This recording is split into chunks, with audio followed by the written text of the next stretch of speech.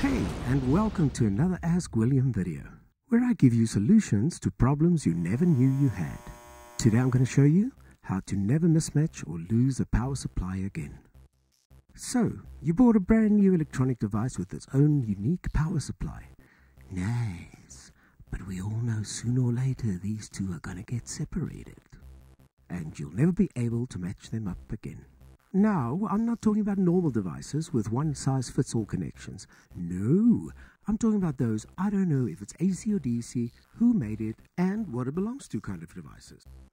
Beware, connecting the wrong power supply to a device can lead to serious damage. But don't stress, Ask William will probably have a solution. For this fix, you'll need some colored stickers and a pair of scissors. Now, cut out two similar stickers. Now simply stick one to the back of your device and the other to the back of its power supply. Simple. Just pick a new pair of stickers to match up all your other devices. But what if you run out of unique stickers? Don't stress, simply use this trick. Cut out another sticker and start creating two unique shapes.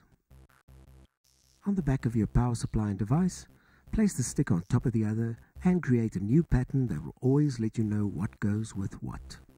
And that's it. Thank you for watching this video and don't forget to like and subscribe to my channel if you would like to see more content like this. From me, William, I'll catch you in the next one.